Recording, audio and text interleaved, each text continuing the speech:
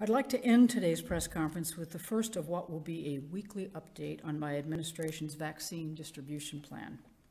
We will also be sharing vaccine information this Friday on our biweekly local stakeholder call with county, city, and business leaders, as well as legislators and educators. Before I get into the specifics, I want to stress that we are still in the very early stages of vaccine production and deployment.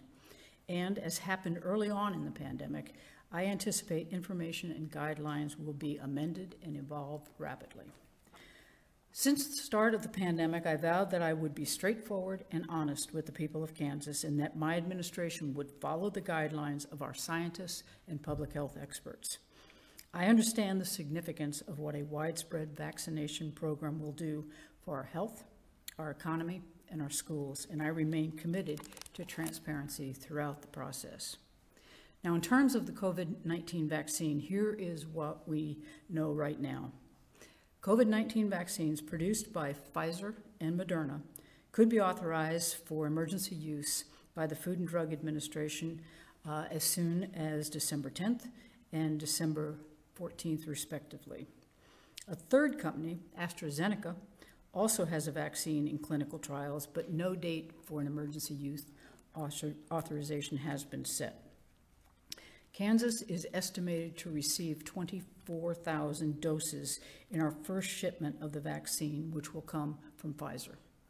This shipment could arrive in our state as soon as mid December, while we are estimating the first shipment from Moderna will arrive shortly thereafter, and with shipments from both continuing to arrive on a weekly basis. In all, we're preparing for approximately 150,000 doses by the end of the month. My administration's vaccine distribution framework is in line with CDC's Advisory Committee on Immunization Practices recommendations. Importantly, the vaccine will be made available based on principles of maximizing benefit, minimizing harm, and striving for equity, justice, and fairness. The distribution order will begin with high risk healthcare workers and nursing facility residents. Those will be phase one groups. Phase two, and, and I must also say that there will be others who will be added uh, to the phase one group as we're putting together this plan. Phase two will be those non high risk who are 65 age, years of age or older. Phase three is the non high risk under 65 years of age. We've created a timeline for vaccine distribution. Obviously, adherence to our timeline will be dependent on receipt of the materials from the companies. We'll work to ensure that as many phase one groups as possible are vaccinated by the end of the month. Phase two and three will be administered the vaccine on a rolling basis between the winter and late spring. At the state level, the Kansas Department of Health and Environment is working with healthcare providers across the state to be ready to vaccinate Kansans when we receive the vaccine. More than 200 providers are in the process of signing up to distribute vaccines or have already signed up. This number is growing quickly and we expect it to continue to do so.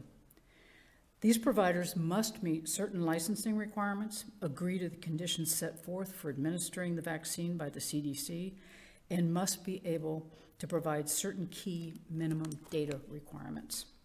Vaccines will be delivered to pre-positioned locations equipped for ultra-cold storage throughout Kansas. Uh, the ultra-cold storage temperatures are required to store only the Pfizer vaccine. Uh, we'll be setting up other storage possibilities for Moderna. Uh, due to security reasons, we will not disclose the locations of these facilities. From these locations, vaccines will be distributed broadly to provide vaccine coverage to healthcare workers initially. We have laid our framework uh, to prioritize vaccine delivery to those on the front lines of our pandemic response or those disproportionately affected by the virus. With this schedule, we intend to protect the greatest number of Kansans, foster economic recovery, and get our kids back into our school buildings as quickly and safely as possible. The vaccines themselves will be free.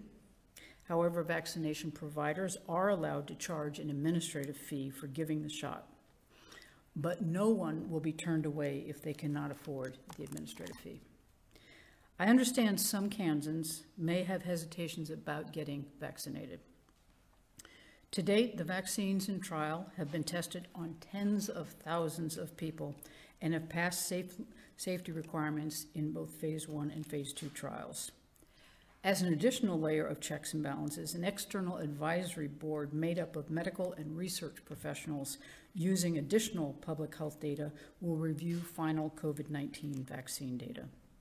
Lastly, I would like to remind everyone listening that we did not begin uh, manufacturing coronavirus vaccines at the outset of this pandemic.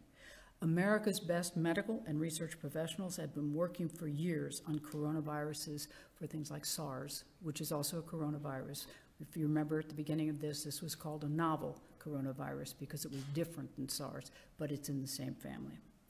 Uh, the lessons learned through the developments with SARS uh, are being applied today, which probably what allowed uh, these companies to move at warp speed uh, to develop these uh, vaccines. Before I take questions, I want to reiterate that this news of an upcoming vaccine does not mean we should take our foot off the gas. We must continue to encourage widespread testing, wear face coverings, and employ other mitigation strategies. Listen to advice from our public health experts on the local, state, and national levels. We have seen what can happen when these common sense mitigation efforts are not appropriately followed. For example, due to increasing case numbers and hospitalizations in Sedgwick County, this week, Wichita Public Schools, our largest district, announced that all elementary school students will be returning to remote learning. If we as a state commit to following public health guidelines, we can keep this from happening statewide. And we can ensure our Wichita Public School kids that they can return to in-person classes.